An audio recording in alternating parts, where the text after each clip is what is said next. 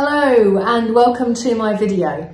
If you've been with me for a while, uh, then you'll know kind of the way that these uh, things go. So I'm going to sort of talk a little bit about sketchbooks today and a little bit about the uh, approaches I've been taking. But before I do that, uh, if you are and have been with me for a while, then welcome back. But if you aren't and you're new to it, then please do like and subscribe uh, and make comments and so on. That really helps me and uh, I produce videos very often. So if you are subscribed, then as long as you have notifications notifications on, then you'll know when I uh, release a video.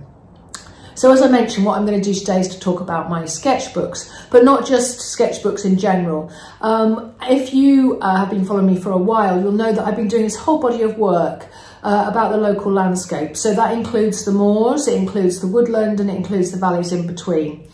Uh, and I'm producing a work not only for ongoing sale, but also I'm producing a body of work for an exhibition early next spring in 2022 called Landscape Inside Out. And a lot of the work uh, is developed for uh, that exhibition. Uh, and I said I was, you know, looking at all these different landscapes. So what I kind of did at the beginning of when I was starting this work was to say, well, you know, how can I split this up into manageable kind of topics really, or sort of mini subject areas. So I have six. And so I do a lot of work on location and that includes a lot of different explorative studies, uh, working on paper. Uh, and they have they, there are different types of study that I do. But one particular um, thing that I have been doing for each of the six uh, groups of work is to develop a, a small mini pocket concertina sketchbook and the reason I'm talking about it today is that I'm about to uh, prepare my last, the sixth uh, sketchbook, which is going to be about the autumn woodland. So for these six sketchbooks, four of them have been done in a way where I pre-prepare them, and that's what I'm going to do with this one, uh, with a background of, of collage, because I'm a, uh, a, real, I have a real interest and fascination with collage and how that can shake uh, things up and help you become more abstract. So um, four of these six uh, uh, uh, collage and two of them have been done with just general mark making and using different marks.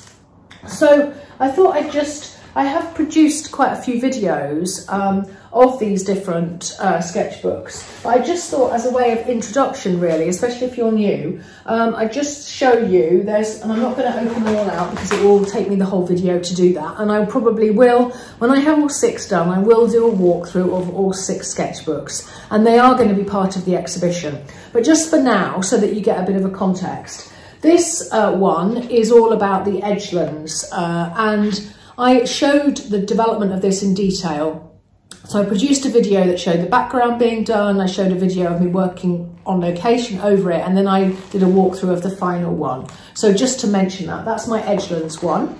So that's the, that's the first uh, concertina that I did with collage. The next one was Spring Woods, and so uh, this one is all limey greens and the blues of the lovely sky. And this one was done in the same way uh, with a background and then worked over on location. Uh, so that's the second of the collage concertinas.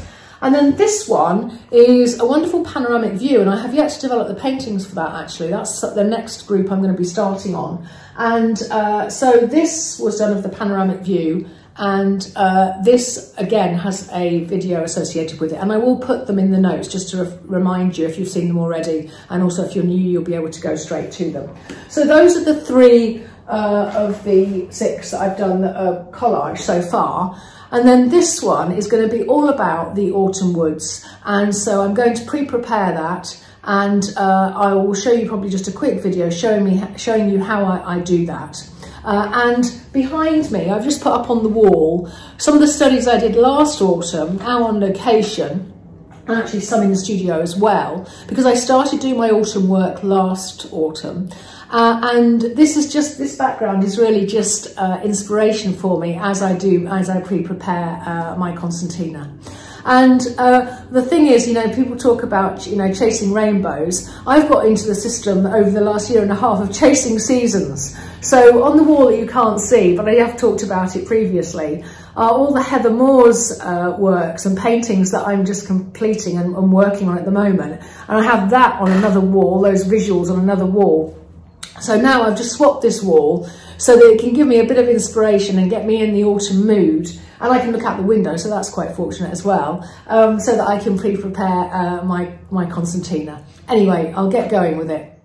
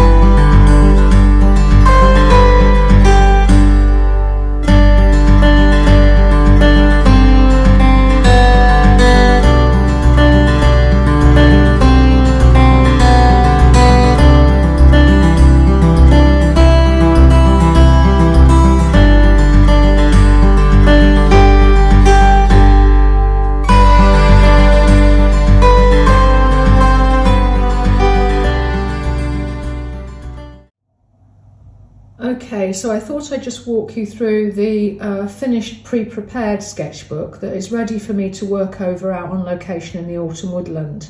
And uh, I'll take you through page by page. So that's the very start and you can see how the inks have done nice things. I've used coloured inks this time as well as black inks. Uh, that's created a nice effect and I've just used orange and yellow as in autumn kind of colours really. Um, that's the gesso and you can see how the ink has sort of seeped into it. And of course, these are very busy pages already and I've not started working over them yet. But what I will be doing is I will be actually knocking back and using white paint and light paint to cover over areas. So it won't just get busier and busier. I will simplify um, and edit as I have done before there's some really nice sort of patterns and effects with the text and the stenciling and so on already appearing before I've even been out into the woodland.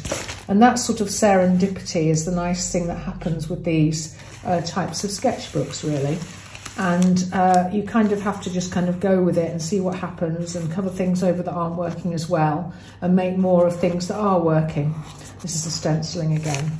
And it's interesting because I was actually being videoed uh, as part of the exhibition I'm uh, going to be uh, uh, showing at in uh, March next year, which is at Gallery Oldham, uh, we are having a video developed showing the approaches we take and the process, as well as the finished works. And um, I was being videoed doing this as I was preparing, so I was being double videoed. so this is the penultimate. This is interesting because this is where the you know the the um, Quink ink comes into its own. You know, it separates out into these beautiful colours. So that's really nice. And then that's where the gesso is. And then that's the, the last page.